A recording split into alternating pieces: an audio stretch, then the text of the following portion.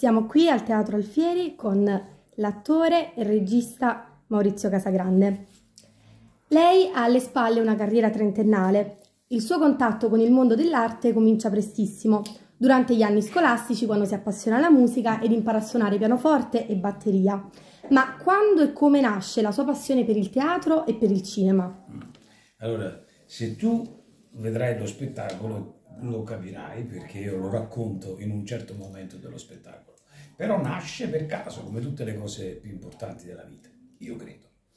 Nasce dal fatto che era un periodo difficile per i batteristi perché erano gli anni 70, alla fine degli anni 70 era stata inventata la batteria elettronica e quindi c'erano i batteristi più scadenti, tipo me, meno bravi, che trovavano difficile trovare lavoro perché mo, quelli là che insomma, dovevano prendere qua pigliavano una scatoletta, non la pagavano, la scatoletta la compravi una volta e poi non la pagavi più e quindi facevano con quella e comunque insomma poi con un papà, il papà straordinario che, la vita mi ha regalato, eh, attraverso lui mi sono avvicinato al teatro perché mi sono avvicinato alla scuola di recitazione che aveva aperto mio padre, cui, nella quale io insegnavo solfeggio, batteria, cioè la ritmica, e mio padre mi aveva ovviamente coinvolto in questo progetto e quindi da lì in poi mi sono appassionato, ho cominciato a...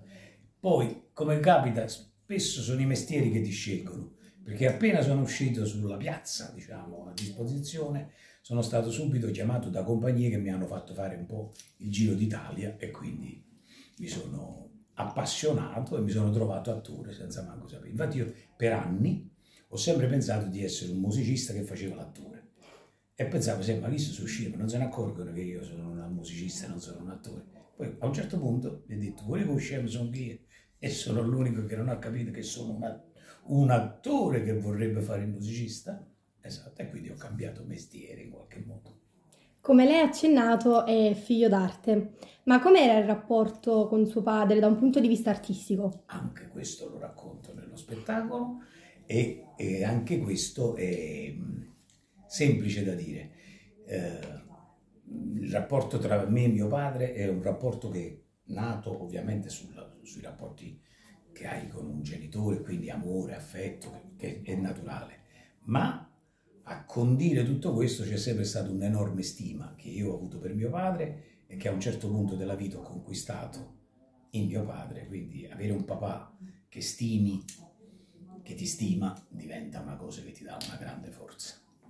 Lei è un artista di enorme successo, attore di teatro, di cinema e anche regista. Mm. Ma se dovesse descrivere la sua carriera con tre aggettivi, quali sceglierebbe?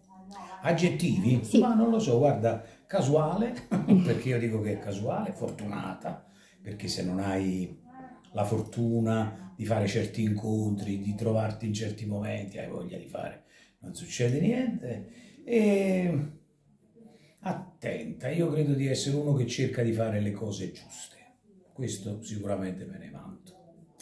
Ma rivolgendosi ai giovani artisti emergenti e a coloro che sognano una vita nel mondo dello spettacolo, quale considererebbe il vero segreto del successo?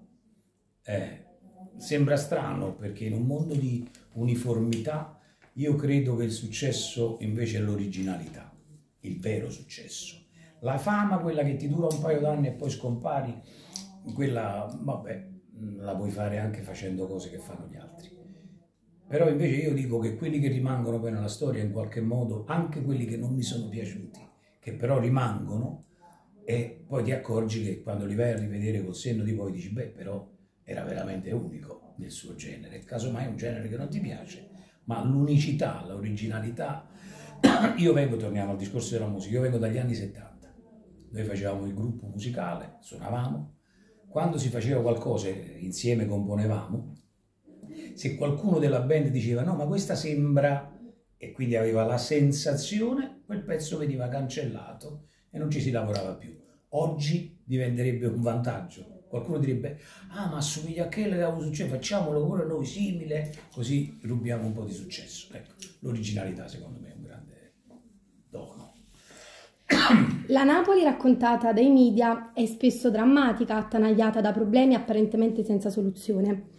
E poi c'è la Napoli raccontata nei suoi film, una Napoli che lascia senza fiato. Penso ad esempio ad Una donna per la vita. Ma qual è il suo rapporto con la città e con le sue origini partenopee? Guarda, una donna per la vita lo racconta perfettamente. Io sono convinto che Napoli è una città molto complicata, quindi non penso che tutto rose e fiori, non penso mandoline e cose, no.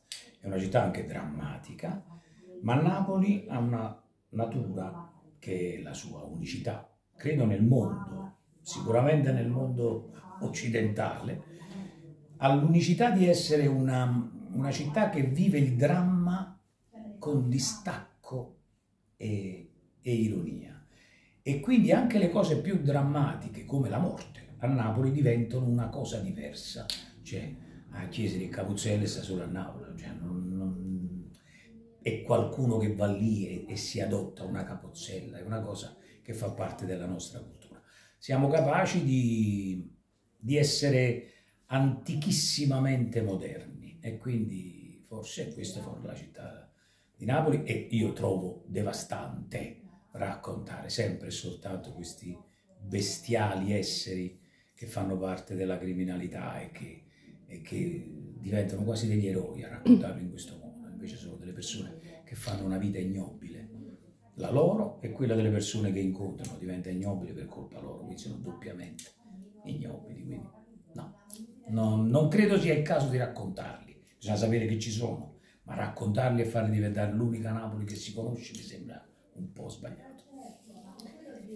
Per anni ha recitato al fianco di Vincenzo Salemme e Carlo Buccirosso, sì. formando un trio che poi è stato il fiore all'occhiello del cinema e del teatro napoletano. Eh Dobbiamo considerare chiuso questo sodalizio o in futuro potremmo vedervi di nuovo calcare le scene insieme? Guarda, non ne ho idea. Vedo difficile eh, organizzare perché siamo tre artisti, mi permetto di chiamarmi tale, eh, che hanno tanto da fare e, e hanno tanto da fare di loro, cioè ognuno di noi ha tanto da dire e quindi bisognerebbe trovare qualcosa da fare insieme, tutti e tre, che ci permetta di avere ognuno la sensazione di dire qualcosa che gli interessava dire.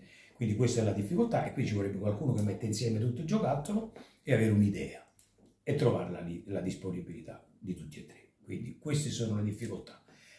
Problemi oggettivi non ce ne sono, sono due amici cari con cui eh, Vincenzo è proprio una specie di fratello che mi è capitato. Carlo è una persona con cui ho condiviso dei momenti importantissimi della vita, quindi di leghi e non c'è niente da fare.